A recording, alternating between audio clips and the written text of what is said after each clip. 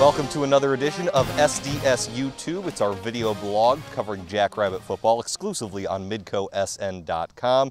With Tom Nieman, I'm David Brown, the producer of Jackrabbit Journal. And Tom, the Jacks lose at Mizzou 38 to 18, but the bigger loss is at the quarterback position. Austin Sumner goes down with a broken foot. He is out for a minimum of six to eight weeks. Yeah, just uh, big loss from a leadership perspective. They love this kid. The, the, players on the team love Austin Sumner. He is revered as a leader on this team, and that's probably the number one uh, thing that they're going to miss here in the next six to eight weeks. Uh, but uh, he can throw the ball too. We've known that over the last three years. He's the all-time leading passer here in uh, state history. But we'll see. He comes back at the end of uh, two months, and we'll see what kind of shape he's in then. But that is the plan to have him return at some point in the season. And he said, "I was just trying to make a cut and go down. He wasn't going to slide. He was just kind of going to dive forward."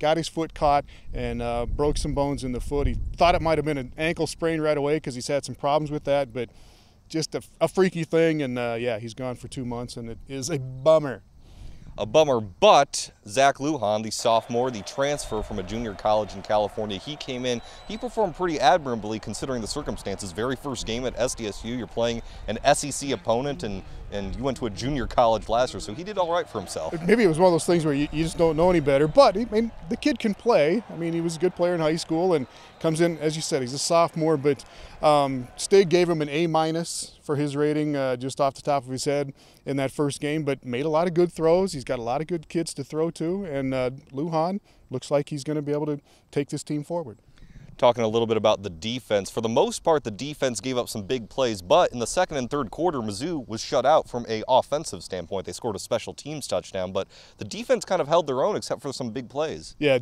I think uh, Missouri ended up with about 180 yards passing. They had two big pass plays in the first quarter uh, that went for touchdowns.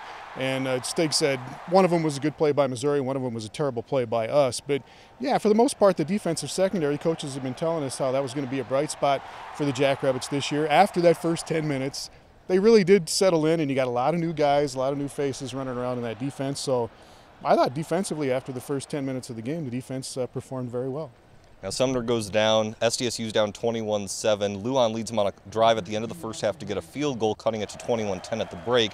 Then opening drive of the third quarter, Lujan probably had his best drive of the game, leads him to a touchdown, two-point conversion, gets him within three. Yeah, he hit uh, a lot of different receivers. He hit Zach Zenner on a couple of passes. Zenner had seven pass receptions, and I don't know if it was just in the Missouri game they're going to try to use him that uh, way, but we'll see how they use Zach as a receiver going on this year. But yeah, it was a beautiful drive, and Stig said, man, you know, Missouri's a 30 point favorite in this game. We get within three points of them, and uh, they thought they had Missouri on the run here early in the second half.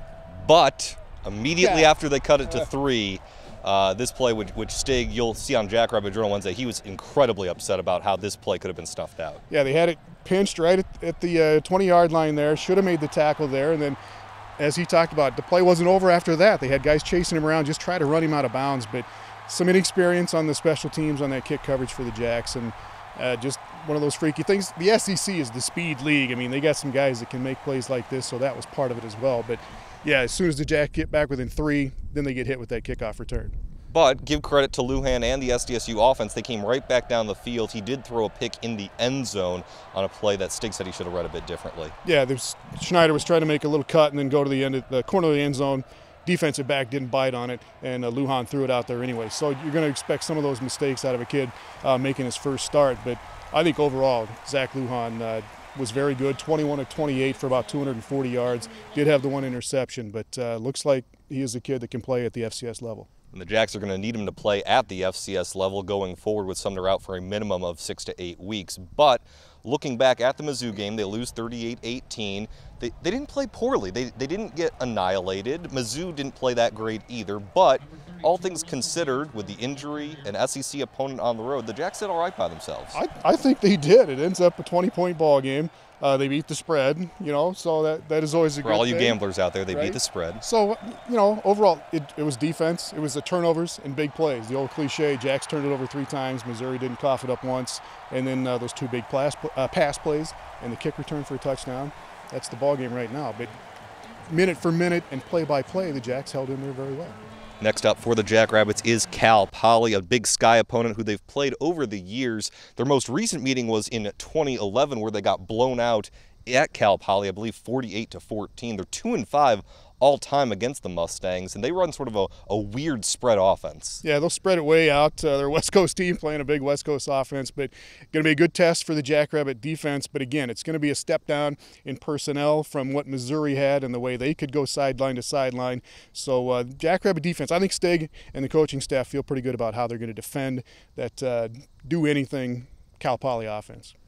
All right, well, you can catch everything on Jackrabbit Journal this Wednesday, September 3rd at 8 o'clock. Tom Nieman and Hank McCall and Coach Stig breaking down all the highlights from the Mizzou game. But for Tom, I'm David. We'll see you next time.